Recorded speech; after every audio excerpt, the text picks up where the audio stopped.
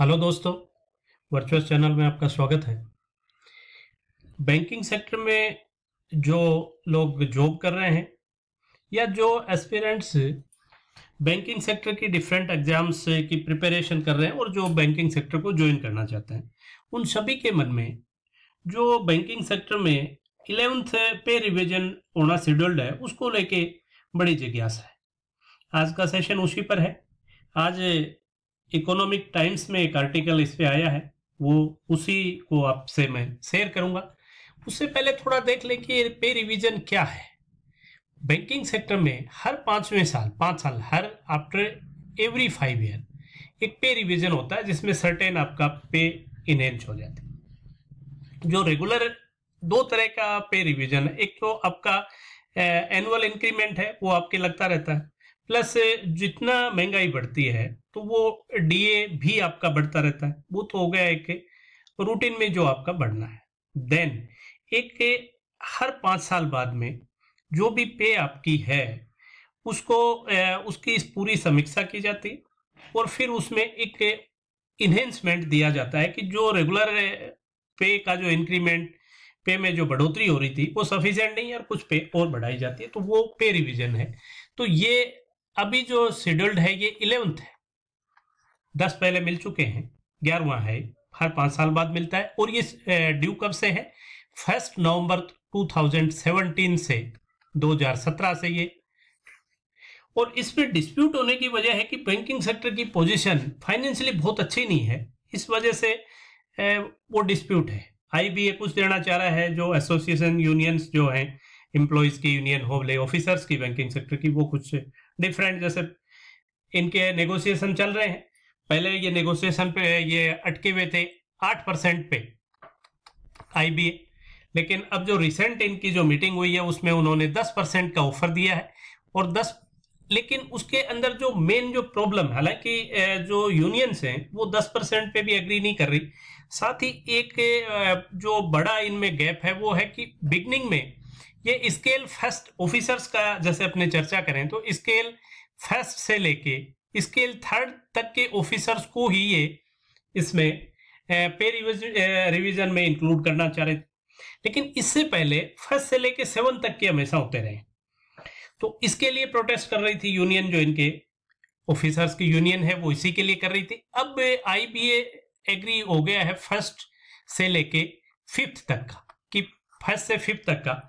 जो सिक्स और सेवंथ जिसमें आपके डीजीएम जीएम और ये लोग आते हैं, उसको वो बाहर रखना चाह रहे हैं। वो उनका जो इंक्रीमेंट है या उनकी पे है, वो डिपेंड करनी चाहिए कि जो वहाँ का बैंक की पोजीशन क्या है, कितना वो बैंक के प्रॉफिट में है अकॉर्डिंगली आप उनकी सैलरी बढ़ाए। लेकिन यूनियन जो है, इनकी जो बड़ी यूनियन है बैंकिंग सेक्टर के ऑफिसर्स की, वो इस पे भी नहीं मान रही और वो चाह रही है कि अप टू सेवंथ फ़र्स्ट से सेवंथ तक को इसमें लिया जाए और साथ ही जो 10 परसेंट का ऑफ़र है, उस पर भी यूनियन एग्री नहीं कर रही। तो अभी एक नया इसमें कुछ वो डेवलपमेंट हुआ है, जो इकोनॉमिक टाइम्स में जिसका आया है वही मैं आपसे शेयर करना चाह रहा हूँ।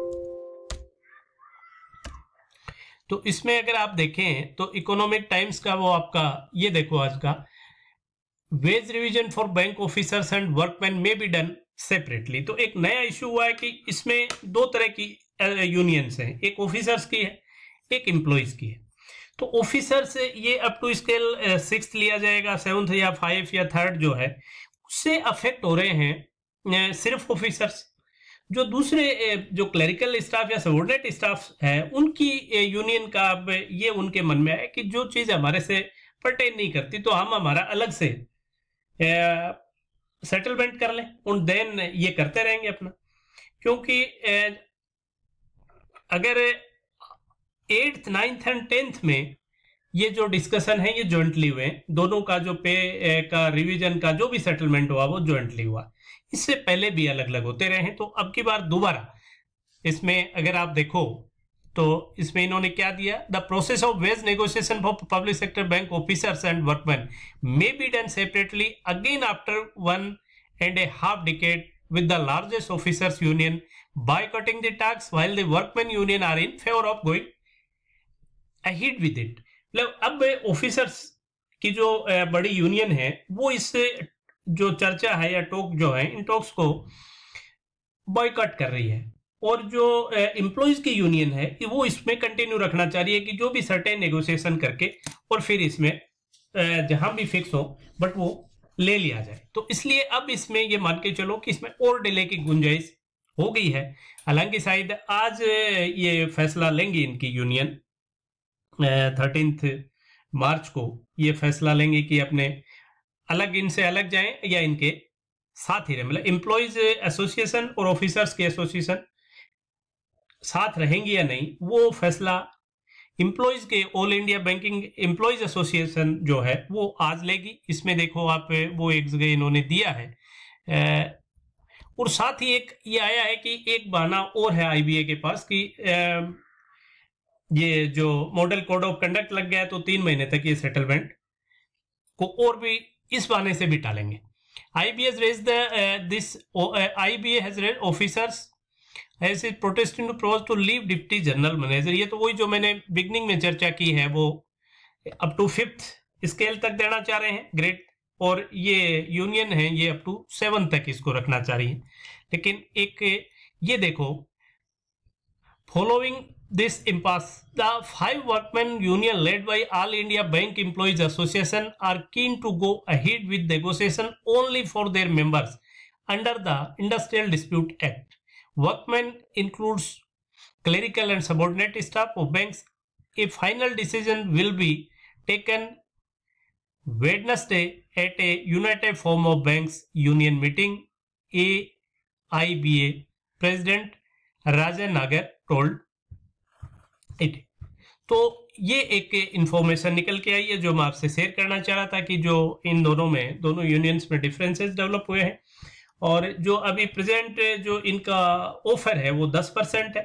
वो 10 परसेंट में भी फ़र्स्ट से लेके, ये एम्प्लॉयज़ तो है, ये जो वर्कर्स जो क्लरिकल ग्रेड और सबॉर्डिनेट स्टाफ तो ऑलरेडी है इसमें बट ऑफिसर्स में स्केल वन टू लेके फिफ्थ तक इसमें इंक्लूड करना चाह रहे हैं। और फिफ्थ से ऊपर सिक्स एंड ऑनवर्ड जो है, उनको जो बैंक का जो स्ट्रक्चर है, जैसा वो प्रॉफिट अर्न कर रहा है, उसके अकॉर्डिंग उनका सेटल करना चाह रहे और यूनियन से इनके जो ऑफिसर्स के वो चाह रहे हैं कि फ़र्स्ट से लेके सेवन तक अप टू जीएम इसमें कवर हो। और साथ ही जो टेन परसेंट का ऑफ़र है, उससे, से भी दोनों ही यूनियन सेटिस्फाई नहीं है। लेकिन अब इसमें जो कहाँ तक लें? भाई अप टू फिफ्थ लें या अप टू सेवंथ लें तो इससे जो इम्प्लॉयज हैं क्लरिकल और सबॉर्डिनेट स्टाफ का इनका हित तो उससे नहीं जुड़ा हुआ इसलिए वो अलग से भी अपने टॉक्स जारी रख सकते हैं क्योंकि ऑफिसर्स ने इन टॉक्स का बॉयकॉट कर दिया और जो इम्प्लॉयज की यूनियन है वो इसको कंटिन्यू रखना चाह रही है। So, हो सकता है कि पहले इम्प्लॉयज का ये सेटलमेंट हो जाए एंड देन ऑफिसर्स और जब एक बार अगर इम्प्लॉयज का हो गया तो ऑफिसर्स थोड़ा बैकफुट पे आएँगे क्योंकि डेफिनेटली जैसे ही ये uh, कुछ मोर देन 50 परसेंट लोग एक्सेप्ट कर लेंगे तो बैलेंस पर प्रेशर बनेगा। तो ये एक इंपॉर्टेंट खबर थी जो मैं आपसे शेयर करना चाह रहा था। सो so, आज के लिए बस इतना ही फिर कोई अच्छी खबर आएगी तो वो लेके फिर हाजिर होंगे। That's all for today session have a nice day